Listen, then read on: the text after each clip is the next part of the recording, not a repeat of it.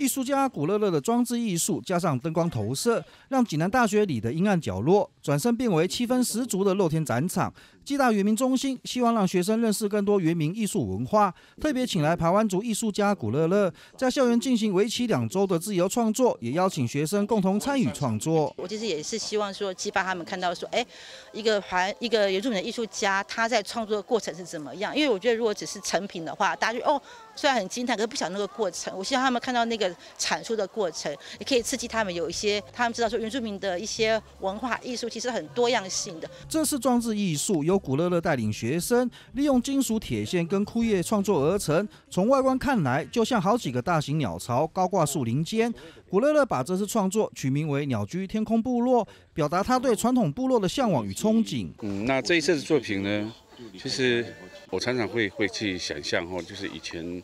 我们最原始、最传统的那个呃那个部落，不管是人哦事物。我那个很美的那个部分，我就会很想回那个部落，但是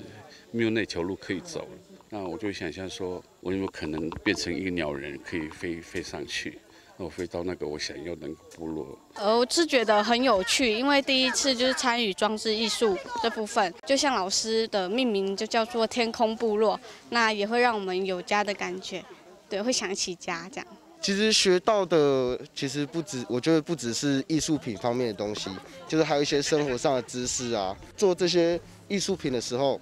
他也有教像绑那个钢丝啊，还有揉揉那个。铁丝网，他都知道大概要教你到哪里的，学到的就是蛮多的。古乐乐跟学生们共同用两个星期完成这次艺术创作，除了发表成果，协同创作的学生们也在过程中学习获益良多。原视新闻弄南投普里采访报道。